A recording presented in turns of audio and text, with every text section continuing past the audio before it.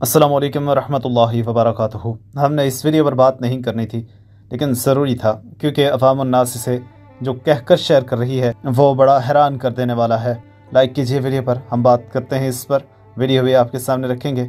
आपके सामने है यहाँ माहिरा खान नाच रही हैं, गा रही हैं। ये किसी की शादी का मंजर है। शहबाज शाजी नामी कोई शख्स है जिसकी शादी है। माहिरा खान नाच रही और अवाम ये कहकर फैला रही है इस वीडियो को कि माहिरा खान जैसी हैप्पी ज़िंदगी चाहिए। और जैसे ये खुश हैं, ऐसी खुशी चाहिए, ऐसे खुश रहना चाहिए। प्यारे साथियों, ये बज़ाहिर दिखने वाली चीज़ें हैं। फील कर लीजिए इस चीज़ को। म्यूज़िक सुनते रहेंगे, नाच गाना देखते रहेंगे, करते रहेंगे। दिल को कभी सुकून नहीं होगा, चाहे आप पॉपुलैरिटी जिस कदर गेन कर लें, एंड पे खुदकुशी करने का ही दिल करता है। देखिए, जितने भी पॉपुलर तरीन लोग थे, सभी ज़िंदगी के एंड में इंतहाई मुश्किल दौर से गुजरे हैं।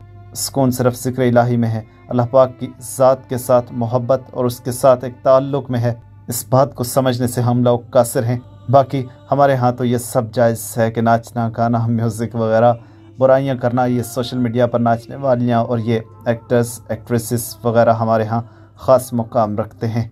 बहरहाल सोच सोच की बात है और अक्लो शौर की बात है। अल्लाह पाक हम सबको सीधी राह दिखाए। वीडियो के मुतालिक राय दीजिएगा और आगे भी इसे शेयर कीजिए।